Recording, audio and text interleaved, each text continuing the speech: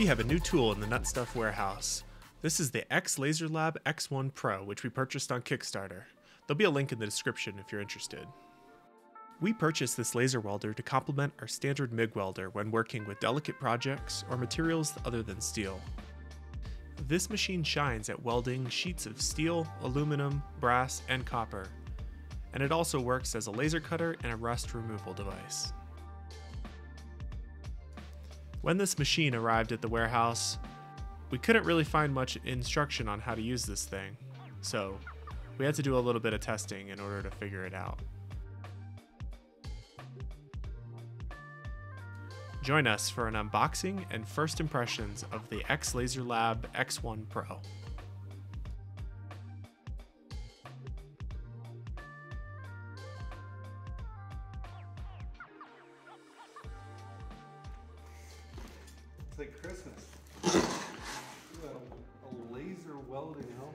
Is that different than. It looks different, right? Green. See?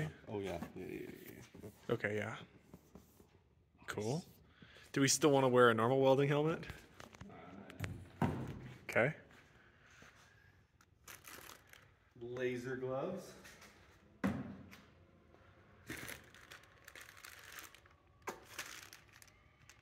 Enjoy our laser journey. Oh, I got a little Kickstarter.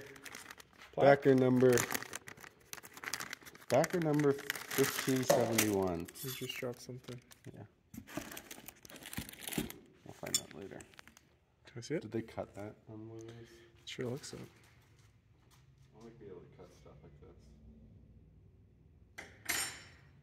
Cool. So nice. Okay. An apron. Nice. Well, you should probably put that on before we start using it. Oh, look at my pants. They're like, they're like hard.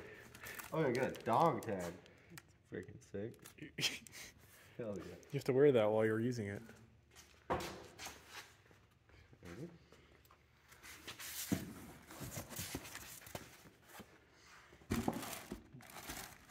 Loaded me up. Look at this. Oh, this is the wire spool holder. Does that fit around the machine? No? Okay.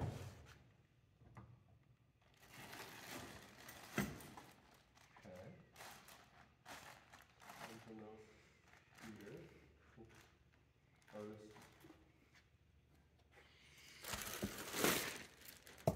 Yeah, that's empty. feed the wire into the back of the machine, and then it goes through, I guess, and into the gun. That's everything? Yeah. The first step was to connect the gas line to the gas input on the back of the laser welder. In this tank is pure argon gas. After that, we needed to figure out how to feed wire through the system. Okay. Figure it out? I think we'll just need to go get that stuff from, from welding what? Oh, I didn't see what size welding is. Should say, it says wire feed rolls. I feel like it should have come with like a little bit of wire.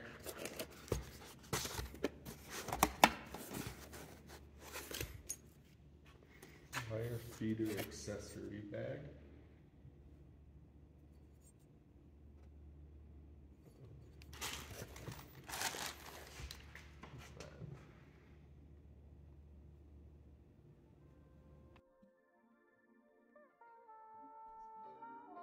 What is the pamphlet said something about floating? Did it? Well, yeah, Boom. turn it back down. I can't turn it back down. I'm gonna take a picture of it. Okay, I think we're good. Okay, and then this is holding, so that's good. It's like a burial Leanne. So, Yeah. Okay. This machine accepts both 120 and 220 volt sources, but for our case, we're just using a standard 120 outlet.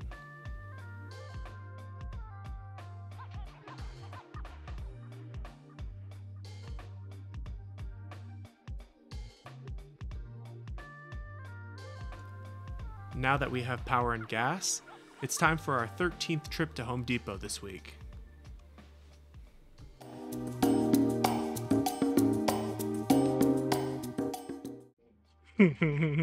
Okay. so green. Make noises. Let's go.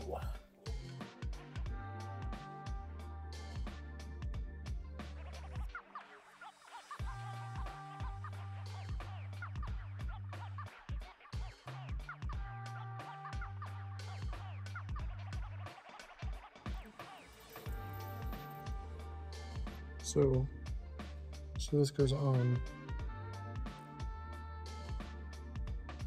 Like that, okay. Okay, yeah, and this fits inside. Yeah, thank you. Okay, so then we need the washer goes here, and then this goes here. And so that's That's like you had it all the way back, no? I don't know if it matters. I mean, we can. No, So like that'll sit yeah. kind of like that, and then this guy slides into here, like that, and then this goes. Oh, oh, need to need to tip off. Tip just screws on.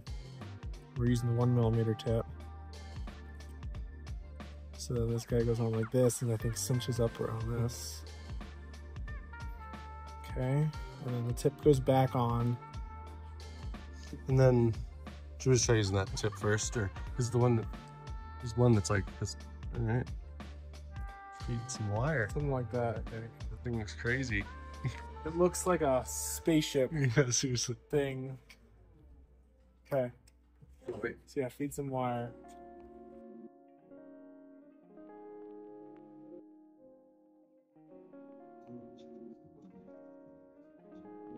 Oh, that's power.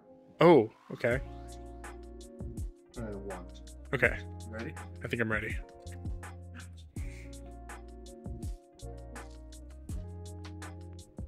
No? We were positive that we had everything hooked up correctly, but we still could not get the laser welder to work. The interface was a little bit difficult to work with, but we eventually got it to work by ensuring that all the locks were turned off and the laser was armed and ready to use. Need power.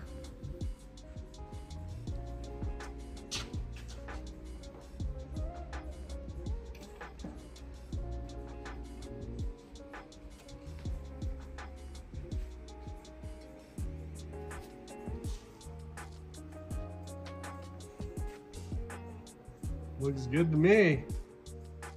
All right. Wait, that'll be our around? test piece. The ground's right here.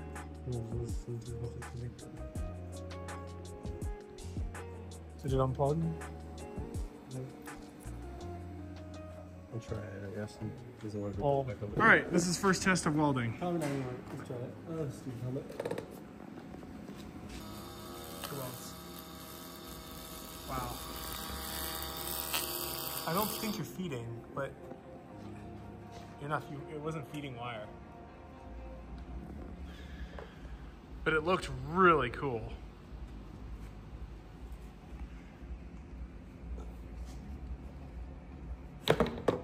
All right, try two. What is this one? Yeah, I just did that. Try two, we didn't turn on Wire feed. button. the wire feed button, maybe? Kind of right there. So let's see if this works now.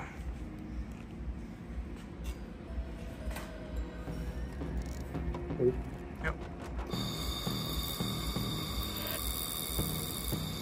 It's wire, but it's Not not. enough, not melting it.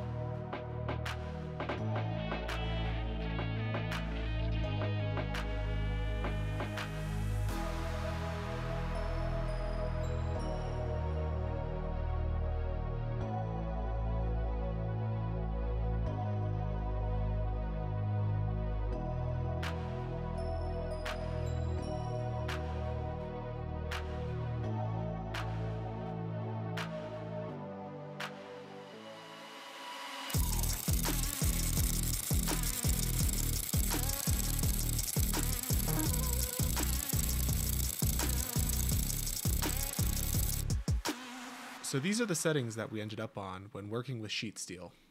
We increased the swing width, which increased the distance that the laser travels back and forth, and then also decreased the frequency down to 50 hertz. Finding that this thing, when it's touching, it melts the wire too early. So you gotta like hold it off so that the point where the laser hits the wire is also the same point where it hits the metal. But you gotta be careful not to press down on it because that pushes this thing. Yeah, so like you have some bad welds, you have like a nice section there. Keep playing with it.